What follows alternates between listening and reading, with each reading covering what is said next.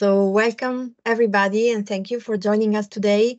My name is Laura Denale from Euronovia. We are the partner in charge of communication and dissemination for the SCORE Horizon 2020 project. Uh, the webinar is the eighth uh, episode in the SCORE webinar series and it is dedicated to introducing the methodology that we use to assess uh, vulnerability to climate change on coastal areas and in particular in the 10 coastal cities involved in our project. The webinar is led by our project partners at University College of Cork in Ireland. In particular, our two speakers today are Gregorio Iglesias and Emilio Laino, as you can see in the agenda here. So let me give you just a few practical information before we start. First, uh, the webinar is being recorded and it will be made available in the next days in the SCORE YouTube channel.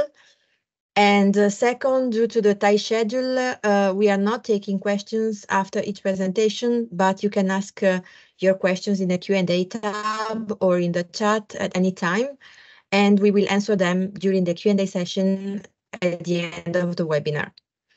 So without delay, I now give the floor to our first speaker, Gregorio Iglesias. Thank you very much, Laura, for your kind presentation. Uh, good morning, everyone, and thank you for attending this webinar. I am now going to share my screen for the presentation.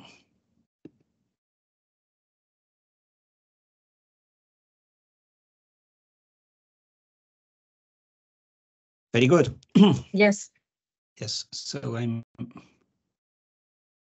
presenting now. All right, so um, the title of this webinar is Mapping the Baseline Exposure and Risk of Extreme Climate Impacts on Coastal Cities.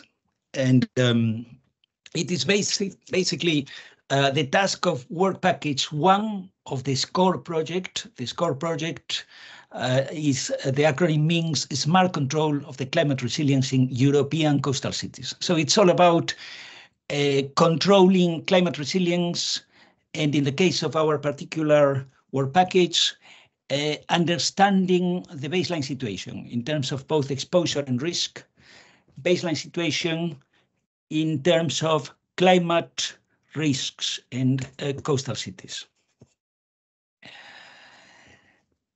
This this is uh, the topic of my my brief introduction. Then I'll uh, give the floor to my colleague uh, Emilio Laino, and then I'll come back for for a for some uh, final comments.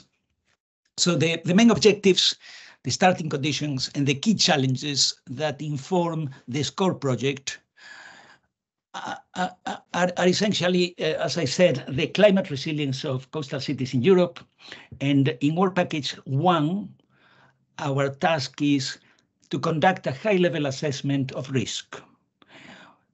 10 coastal cities were chosen, and uh, uh, as, as you can see, these coastal cities are subject to a number of challenges. Coastal flooding, land flooding, coastal erosion, coastal storm surge. These hazards uh, can have a number of impacts, uh, which are described below, such as um, risks to tourism, loss of cultural heritage, damage to commercial buildings, etc. And uh, to mitigate these impacts, there are a number of integrated solutions. Some of them are EBAs, ecosystem-based approaches. Some of them use smart technologies and digital platforms. And an important feature of this SCORE project is the living lab approach. This SCORE project is very much based on a living lab methodology, uh, which consists essentially of three steps. We switch user roles from consumers to prosumers. We achieve a shorter time between the development of the solutions and the market deployment. And uh, all this is facilitated by a growing penetration of um, ICT solutions, in particular into the daily lives of ordinary citizens, what we call citizen science, sorry, citizen scientists. So the objectives of Work Package 1 are, in the first place, to understand the current level of risk that these 10 cities selected for the project face due to sea level rise and other climate-related hazards. The second objective is to establish a baseline, a baseline uh, using, of course, all the available information about past events in these cities, a baseline for future risk assessments and mitigation strategies.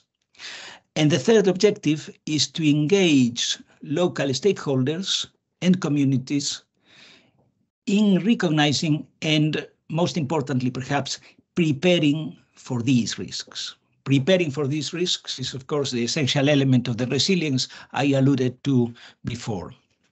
So we have a number of climate-related hazards, storms, coastal flooding, land flooding, coastal erosion, heat waves, um, droughts, etc.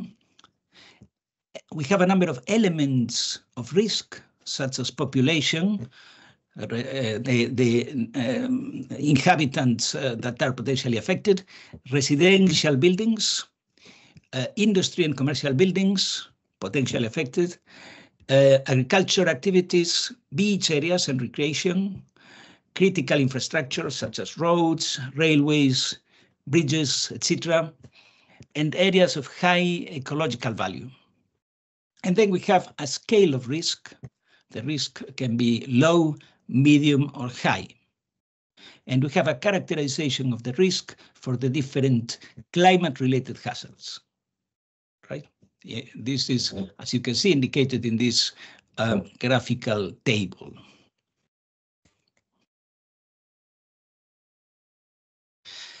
Um, to explain a, a, a, little better the methodology of the Coastal City Living Labs, it is important to realize that it is based on collaboration.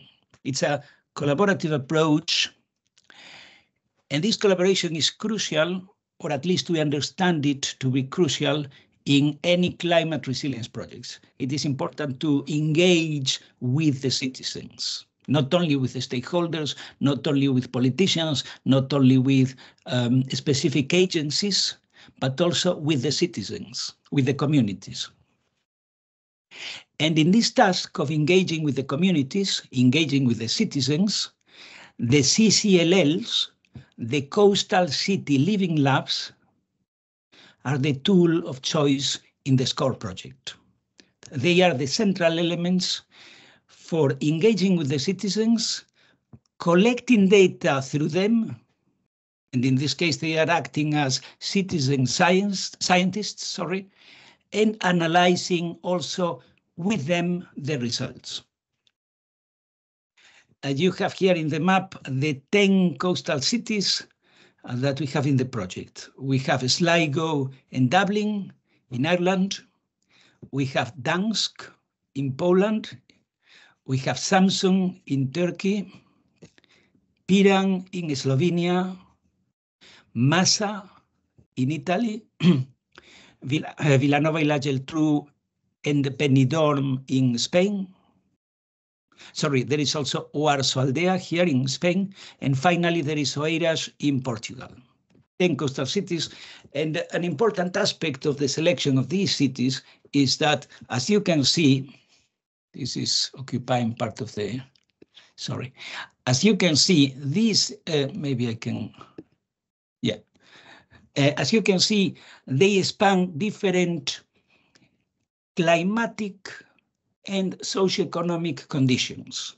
We have cities in the Northern Atlantic, in the Middle Atlantic, in the Mediterranean, in the Black Sea, in Turkey. So cities subject subjected to very different um, um, maritime conditions, and also cities in different countries with very different socioeconomic realities. And, and of course, different levels of uh, GDP per capita, and, and that matters.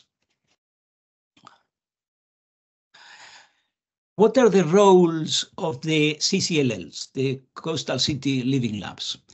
They are local hubs for gathering, analyzing, and implementing project findings in such a way that each CCLL is tailored, adapted to its city. It reflects the local needs, the conditions, and the stakeholder input. It is not the same thing to consider a, a city where there is, for instance, a, a thriving uh, fishing activity or a city that is mainly dedicated to tourism. So within coastal cities, we have many different realities, and this is taken into account in the SCORE project by adapting the CCLLs to the realities of each of the 10 cities participating. And in, in, in this connection, I would like to, to um, give a special thanks to our colleagues from Work Package 2, who have been really helpful in liaising with the CCLLs for our tasks in Work Package 1. What are the challenges of local data collection? Well, there are language barriers. In these 10 coastal cities, there are uh, uh, different languages spoken. And, uh, and it goes without saying, not all the citizens are fluent in, in English or in, in any other uh, common language for that matter. Um, uh, the data format and uh, heterogeneity has to be has to be taken care of. Um, it is very difficult to find um, homogeneous data sets, so this has to be dealt with. And the data sufficiency and availability. These are the challenges. Uh, it is not easy to obtain data on climate-related hazards. Um, for instance, uh, data relating to um, sea level are, are, not so easy to come by at a local level. Uh, the benefits of the collaborative approach um, represented by the CCLLs are very clear in my mind. Uh, we can obtain increased accuracy when gathering data and increased relevance because of course the CCLLs are going to be concerned with relevant data. They are going to uh, indicate very clearly if a data set or, or, or some sort of data is not relevant to their city. The second benefit is stakeholder engagement. We engage with the communities and in the process, we engage with the local stakeholders. And finally, another benefit is the fact that we create or co-create is the word, we co-create innovative solutions with the CCLLs.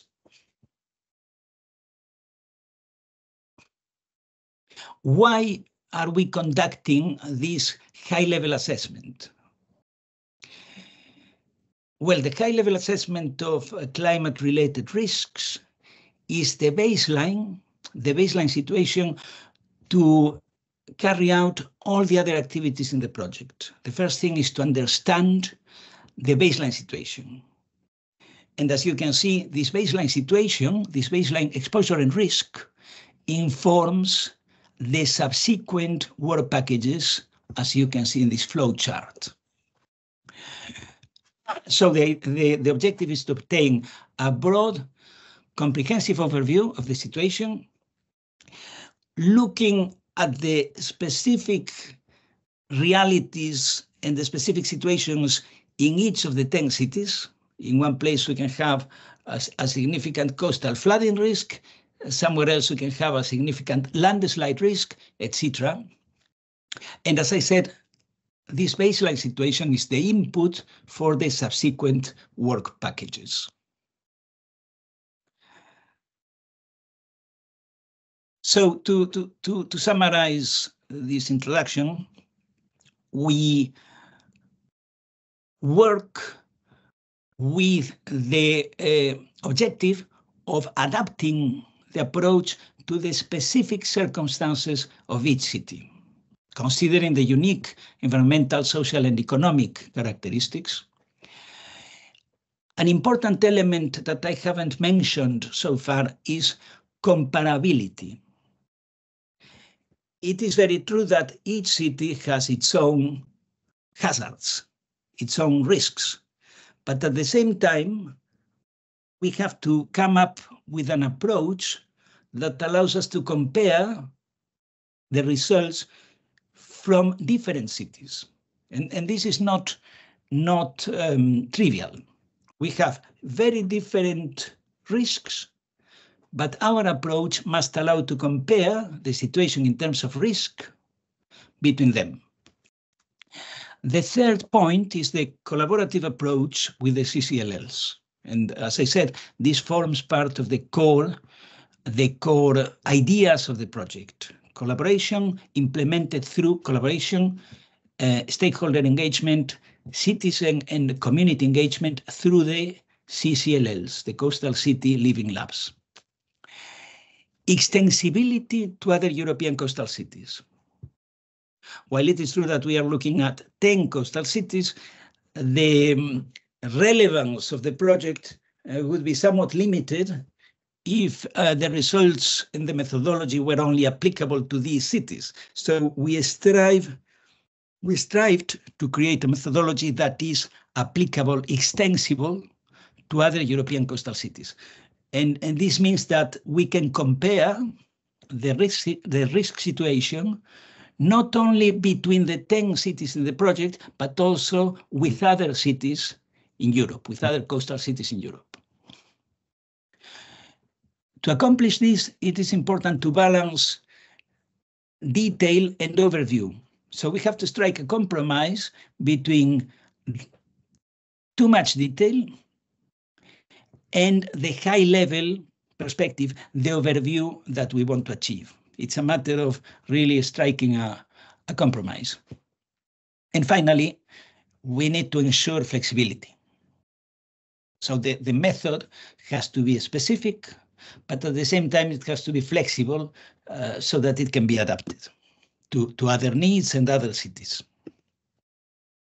And this is the end of my uh, brief introduction. I give the floor now to my colleague, uh, Emilio. Emilio, please, uh, I, will stop presenting now. Hello, everyone. my name is Emilio Laino.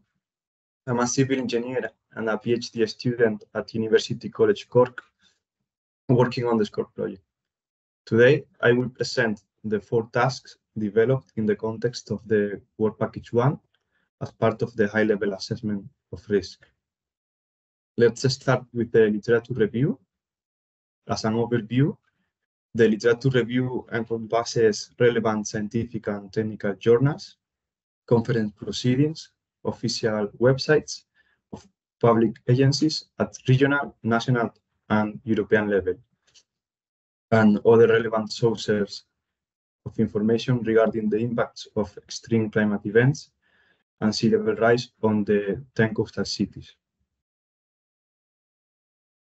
Well, the literature review is complemented by the data collected from the CCLLs, thanks to the other colleagues from Work Package 2, as Gregorio said, and also with information on relevant past and ongoing projects collected in another work package, Work Package 9.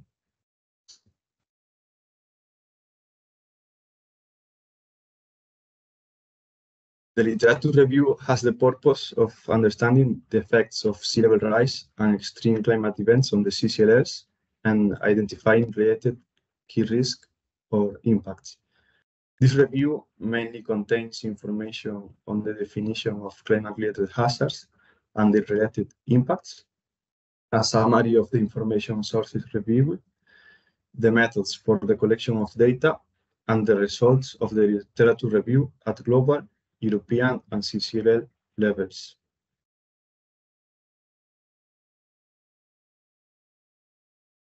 in order to, to understand climate-related hazards.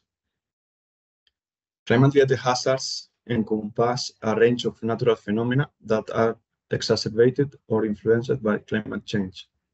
These hazards pose risks to human societies, ecosystem, and infrastructure, like in this picture. Uh, a brief overview of this picture can be, for example, sea level rise, which mainly occurs due to the thermal expansion of seawater and the melting of ice, ice caps and glaciers. It leads to coastal inundation, erosion, and saltwater intrusion into freshwater sources. Then we have flooding. In this sense, increased precipitation, storm surges, and sea level rise contribute to more frequent and severe flooding events. This can overwhelm drainage systems, inundate low-lying areas, and cause property damage and loss of life. we have many different created hazards, not only about sea.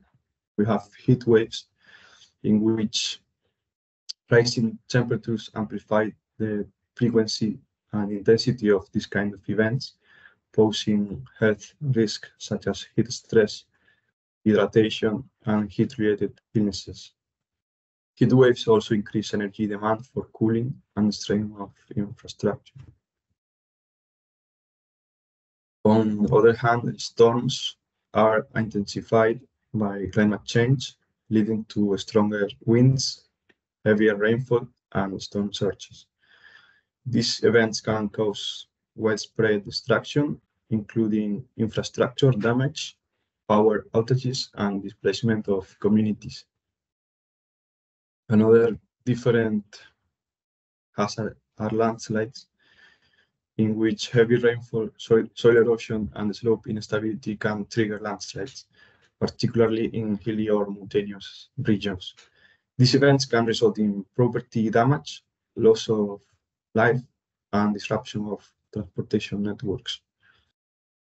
Another very important hazards, but there are very more, are droughts. Changes in, in precipitation patterns and increased evaporation rates can lead to prolonged droughts, causing water scarcity, agricultural losses, and ecosystem degradation. Droughts can be also fuel wildfires and exacerbate conflicts over water resources. Well, the most important thing, in my opinion, of all of this is that these hazards are interconnected and can have cascading impacts on urban environment, environments. For example, sea level rise exacerbates coastal flooding, threatening infrastructure and displacing population. Another example is that heat waves worsen air quality and increase the risk of heat-related illnesses, especially in urban areas with heat-absorbing infrastructure. For all these reasons, addressing climate-related hazards requires holistic approaches that consider interconnectedness of environmental, social, and economic systems, along with strategies for adaptation, mitigation, and resilience building at local, regional, and global scales.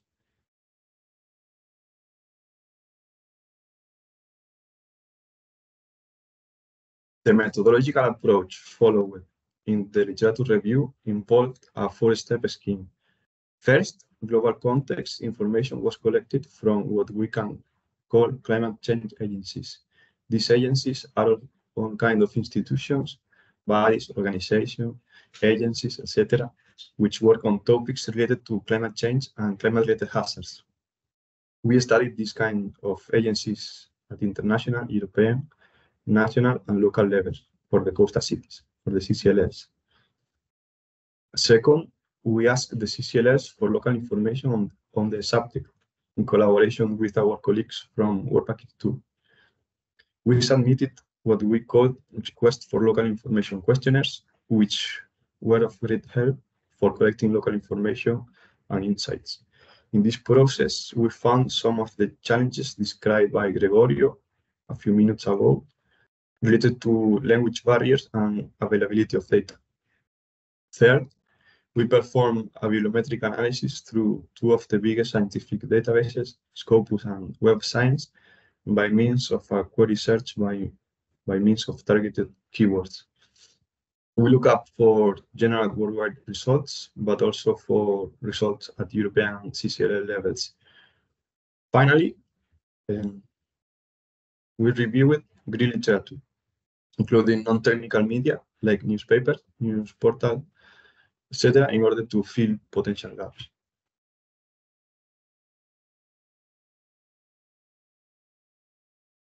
Moving into the results, the climate-related hazards considered in this work are based on a series of authoritative sources and recent research findings tailored to the European context. First, the sixth assessment report by the IPCC served as a foundational reference offering a comprehensive classification of climate-related events, which underpins the understanding of potential hazards affecting coastal environment. Second, further insights on how to measure these hazards by means of indicators.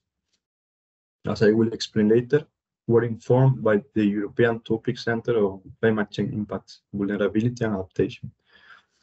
Its technical report, Climate Indices for Europe, evaluates and prioritizes climate-related hazards indices based on their significance, adaptation relevance, data availability, and data robustness, as we are interested in. Oh.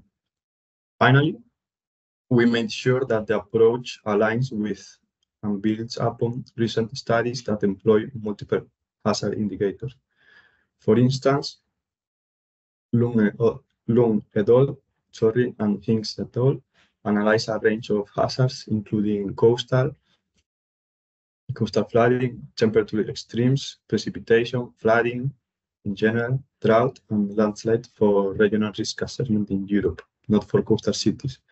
In summary, we made sure that the methodology is not only grounded in the latest scientific understanding, but also addresses the specific challenges and local concerns faced by coastal cities in adapting to climate change.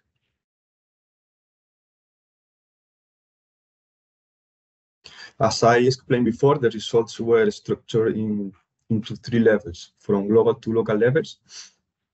In this manner, we built up from a big picture of climate-related hazards and climate change to understanding the local effects for each CCLL.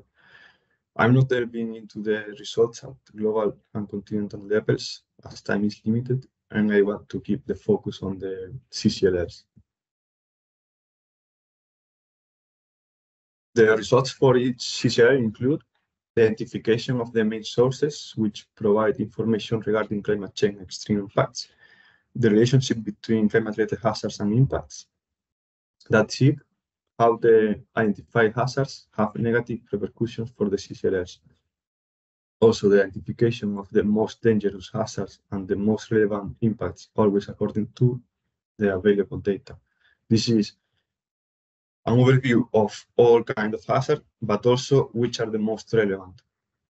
And also, finally, a compilation of past or ongoing projects related to this topic on the, on the city.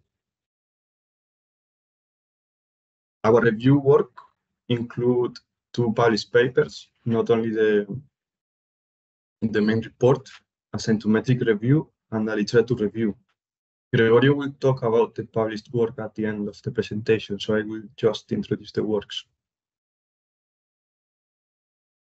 The scientometric review focus on the meta-analysis publication regarding the impacts of climate change on coastal cities. The, this is a meta-analysis. For example, we studied the relationship between publications, authors, citations, research topic, and geographical distribution.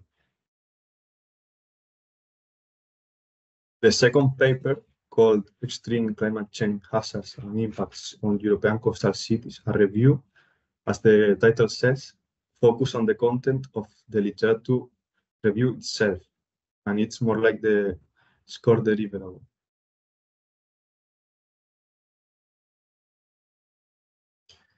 We are moving now to the second task after completing the literature review. Once we have made information available, we focus on the particular task of identifying and characterizing the key climate-related hazards for each city. So we are not working anymore at global or international levels. We are looking at the CCLLs.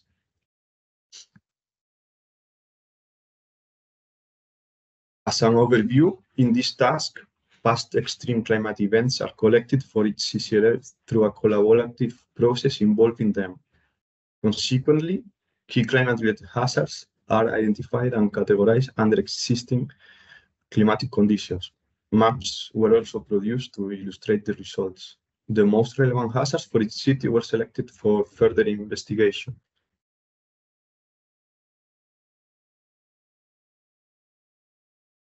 As we are dealing with multiple climate-related hazards, I would like to introduce the concept of multi-hazard assessment as we will be talking about it for referring to this kind of assessments.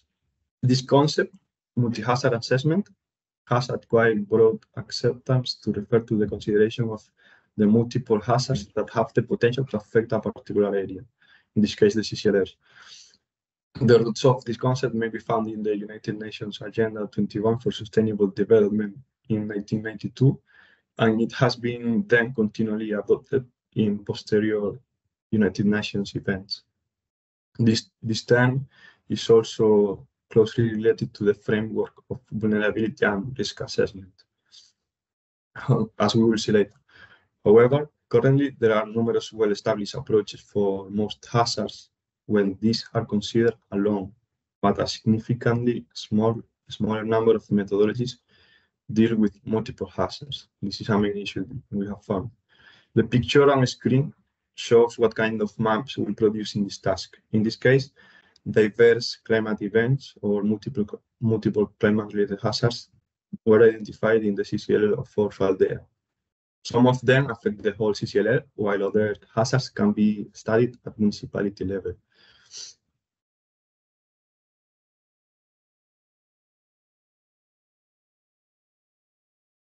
The previous map is based on the results not only from the literature review, but also from lists of past climate events collected for each CCLL.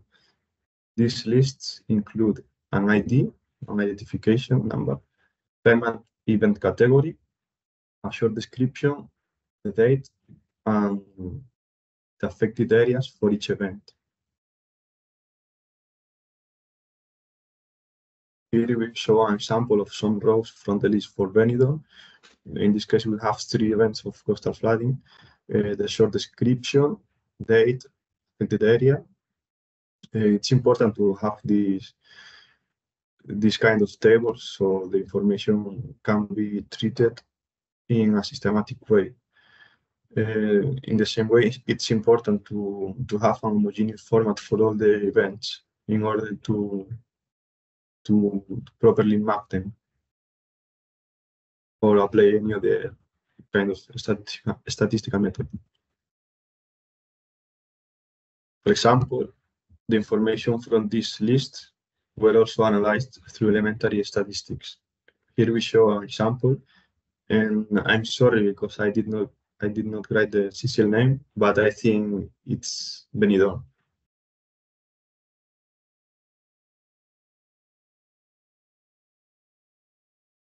Another example for Vilanova La Geltrú showing the map, the past events list, and a similar graph where we can see the distribution of climate-related hazards. We have also published two papers in relation to this work. The first one is closely related to the previous ideas, and we discussed the, method, the methodology involving the CCLLs in this paper. The second paper is an extension of the methodology to practically any coastal city in Europe, as, Gregorio said before. In this paper, a multi-hazard assessment methodology is provided to collect information on climate-related hazards based on indicators. I will use some images from this work in the next slides. Um, uh, as we learn from this project and the, the issues we have in, in collecting data, we propose a methodology, a more general methodology uh, to deal with this kind of issues. Let's move now to the next task, the development of indicators of exposure and vulnerability for the CCLLs. In this task, once we have the hazard component, let's say, indicators of vulnerability and exposure are developed and mapped for each CCLL. The indicators are part of, a, of the high-level semi-quantitative approach to the baseline situation means under current climatic conditions. In this, in this task, again, available European, national, and regional hazard datasets were used as appropriate. The analysis include the, the presence of critical infrastructure and public, residential and commercial assets, as well as social and environmental indicators. Uh, let me explain this better. Uh, because we are talking about hazard, uh, exposure, vulnerability, we are dealing with risk. Risk in the context of hazards and disaster management can be defined as the probability and impact of adverse effects resulting from the interaction between hazards, exposure, and vulnerability. So risk is the combination of these elements. And I will break down each component to see how they contribute to the concept of risk. First, hazard refer to potential sources of harm or adverse health effects on a person or community. In our case, the climate-related hazards. We're dealing with climate-related hazards. Other hazards, apart from climate-related hazards, would include technological hazards such as chemical spills or nuclear accidents, or human-induced hazards like urban fires or acts of terrorism. The nature, magnitude, frequency, and duration of the hazard are factors that influence risk.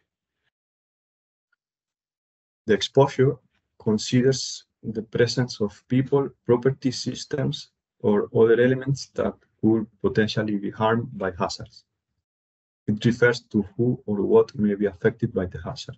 Exposure quantifies the extent to which the hazard and vulnerable population properties intersect.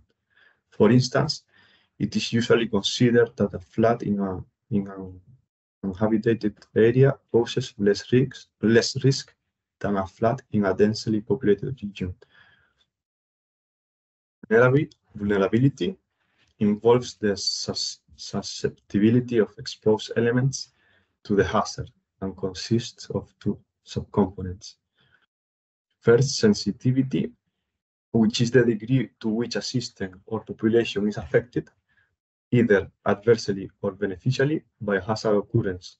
For example, an elderly population might be more sensitive to extreme temperatures compared to a younger demo demographic.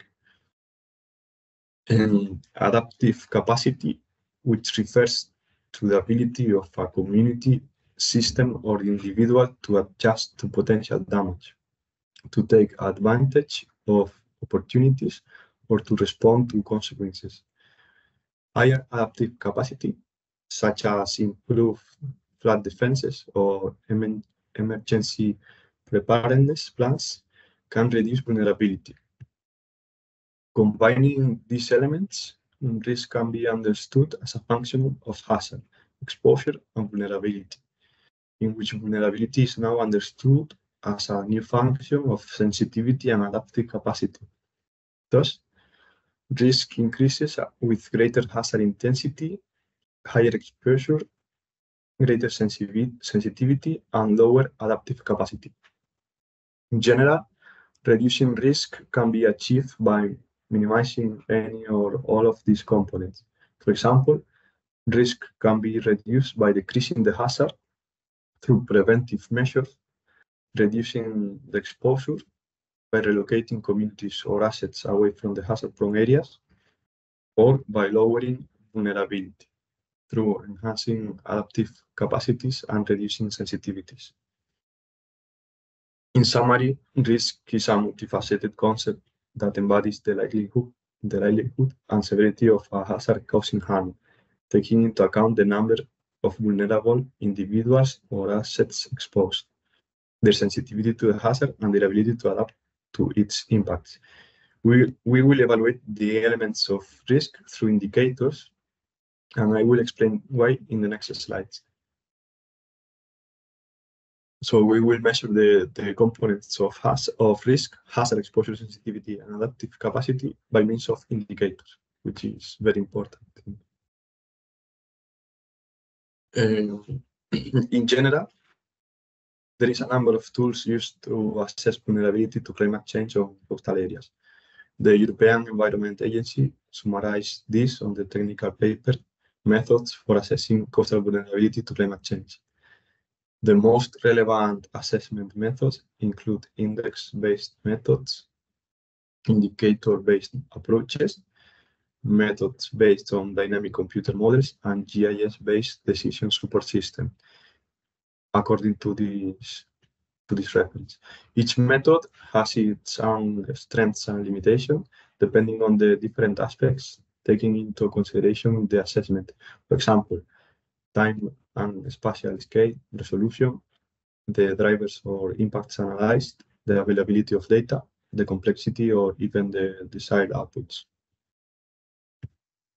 Indicators or index-based approaches are useful tools for a baseline assessment and the identification of priority vulnerable areas and systems due to their simplified approach, whereas the methods based on dynamic computer models and GIS-based decision support system are more appropriate for a more detailed quantitative assessment of vulnerability and the identification of adaptation measures. In our case, the CCLLs face different climate-related hazards and impacts, and furthermore, there is a lack of, avail of available data for some of them. For this reason, we're applying a bespoke semi-quantitative approach based on indicators. In general, uh, the indicator-based approaches express the vulnerability by a set of independent elements that characterize key coastal issues. These indicators are, in some cases, combined into a final summary indicator. On the other hand, index-based approaches are quite similar to indicator-based approaches and express coastal vulnerability by a one-dimensional and generally unitless risk or vulnerability index. This index, this index is calculated through the quantitative or semi-quantitative evaluation and combination of different, different variables. So the main difference between both methods can be found in the calculation of a final score, and sometimes these concepts are interchanged. Nevertheless, we would call our methodology as an indicator-based approach.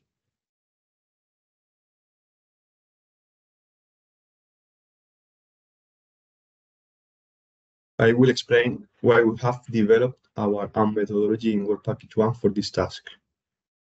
There are reviews of existing multi-hazard assessment concepts and tools applied by organizations and projects. For example, that, that one by Gallina et al. in 2016. Uh, the literature show that existing multi-hazard assessment typically fail to make fail to take into account the effects of climate change and to provide a joint understanding of climate impacts, spatial visualization, comparis comparison between, and communication to end users. Furthermore, most of the popular multi-hazard assessments are not developed to assess the relationship between climate-related events and coastal cities.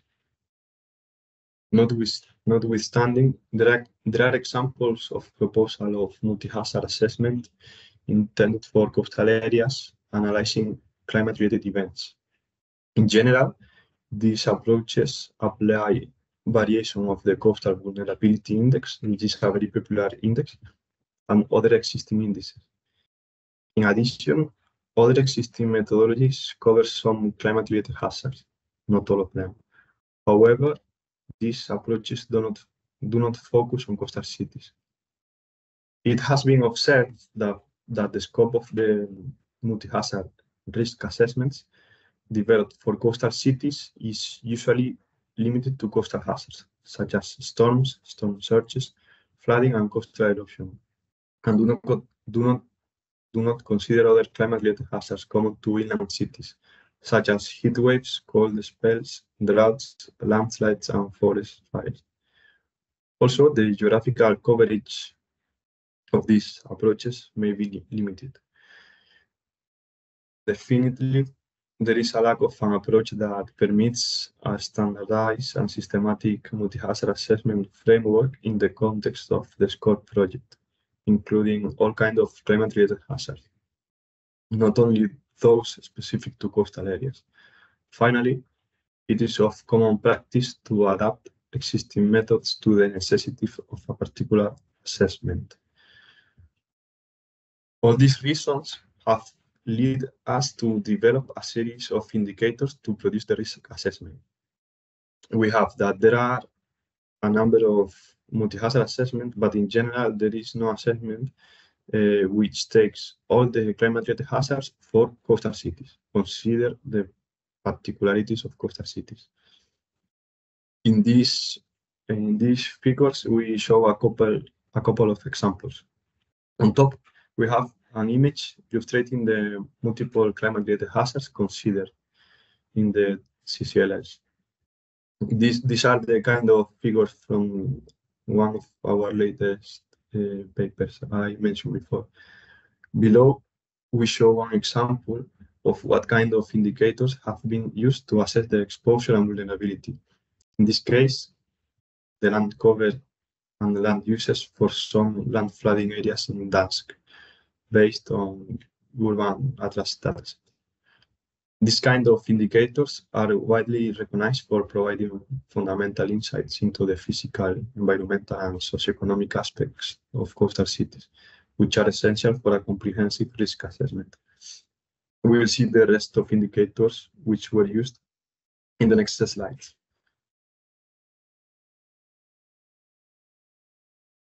Well, the main information sources for this task are listed in this slide. I, I want to go I won't go into detail because we I think we are running out of time. But we have datasets for population, land uses, uh, and hazards, for example, landslide, uh, land flooding, temperatures, coastal erosion, and, digital elevation models. We have also results from previous tasks and contribution from CCLL partners, but also existing studies, for example, existing risk assessment and local adaptation plans.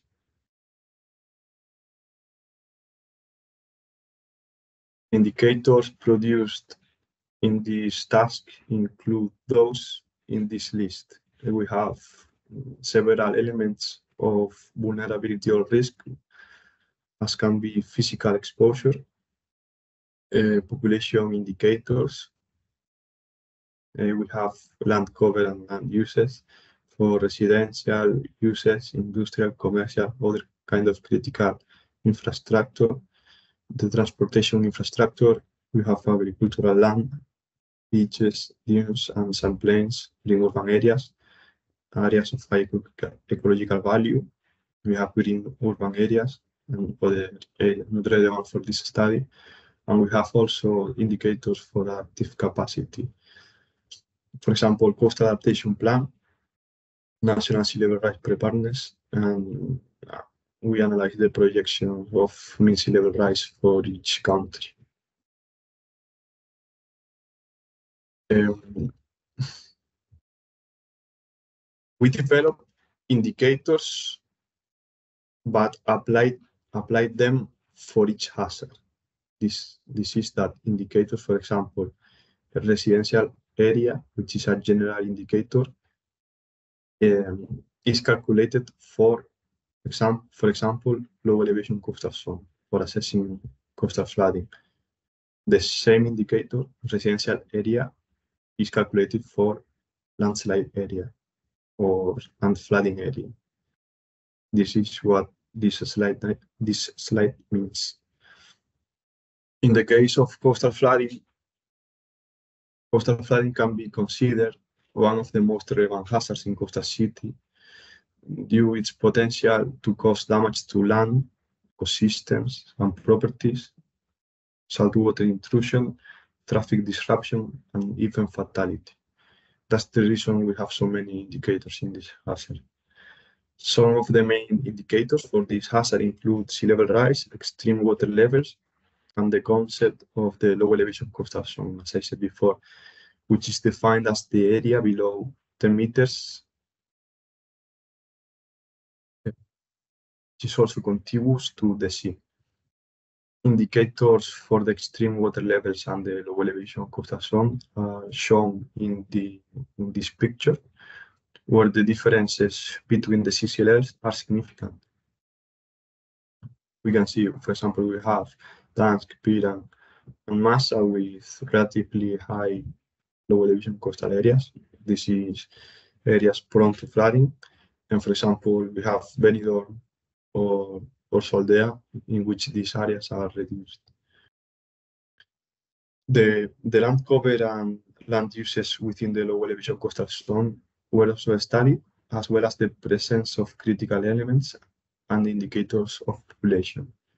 Other indicators of adaptive capacity, as I, as I explained in the previous slide, were evaluated, including the presence of local adaptation plan and information regarding sea level rise management. We have similar indicators for all the hazards. In this case, the indicators for coastal erosion are listed in this slide, encompassing sea level rise rates, as shown in the figure. Other water level indicators, the lithotype hardness, sand areas, and areas of high ecological value, which are of high sensitivity. And the same indicators of adaptive capacity as for coastal flooding. the value for mean sea level rise on screen were retrieved from the application from the Spatial Agency from the United States, NASA, for the year 2020, where Gdansk, again, and Vilanova Geltrú ranked the highest with 5.4 millimeters per year, and Sligo the lowest with 2.4 millimeters a year.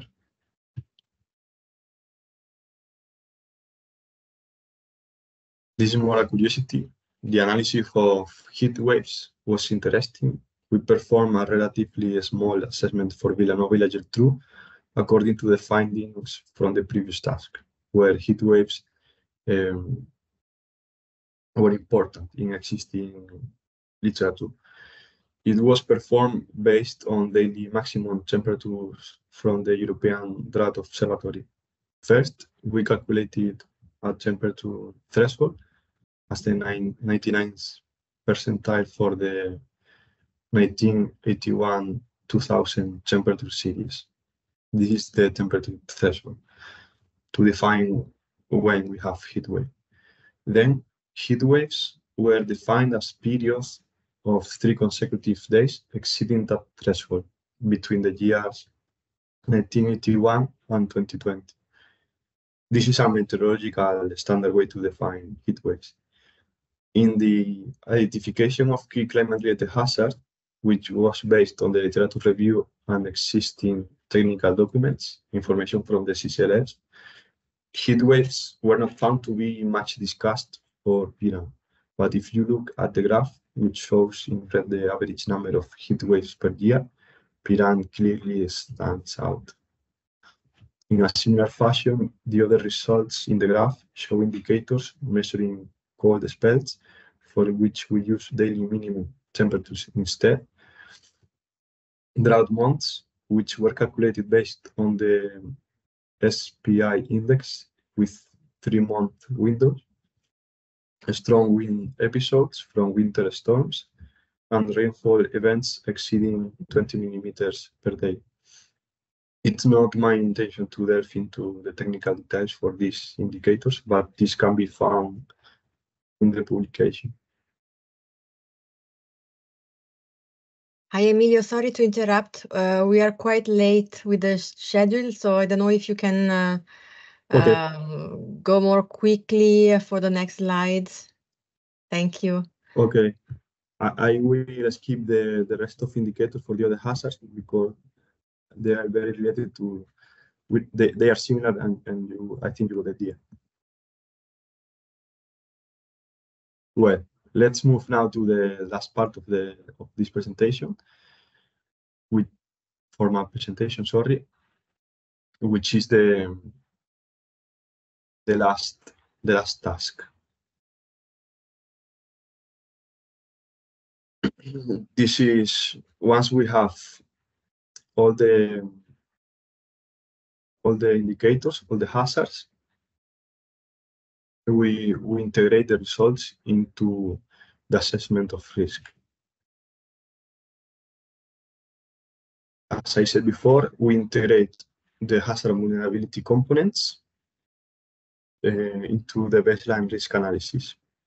Uh, we produce maps uh, for all the CCS, as I will show later on. And we identified hotspots of risk.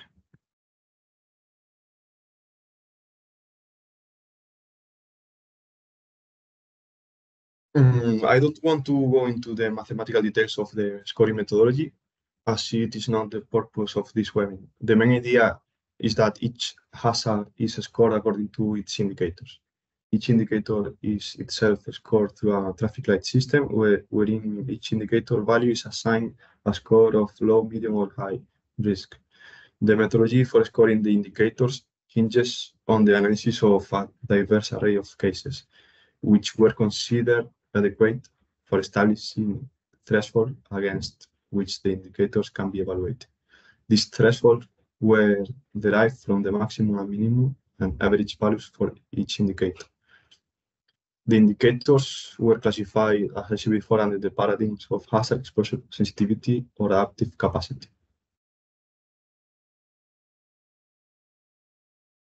The main results of this work include the integration of a broad array of indicators covering hazard, exposure, sensitivity, and adaptive capacity.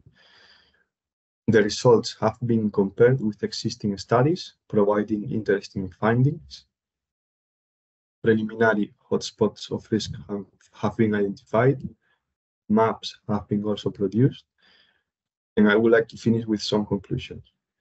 The impacts of climate change on coastal urban areas are systemic and interconnected, meaning that it is important for risk assessment frameworks to be dynamic and comprehensive.